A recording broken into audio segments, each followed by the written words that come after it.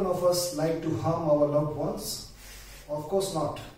Hi, I am Rajesh Verma, Managing Director of Enviropol, Noida, on a mission to create healthier environment.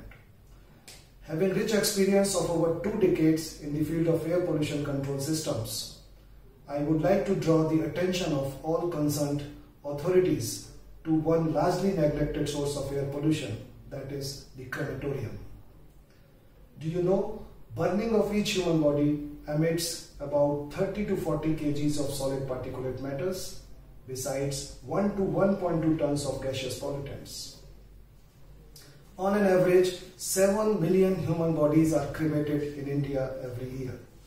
This produces almost 0.3 million tons of solid particulate matters and over 8 million tons of toxic gases which are largely inhaled by our loved ones while attending the funerals.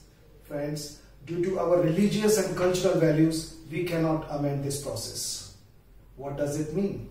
It means that these pollutants are inevitable. But believe me, the pollution is not. There are ways and means to control, control it by deploying right technology without compromising. I repeat, without compromising our centuries old tradition and practices. With this, I am Rajesh Verma signing off for now. See you in my next video with more informations on most optimized technology to prevent this menace. Till then, I look forward to receive your views on the subject. Thank you. Bye.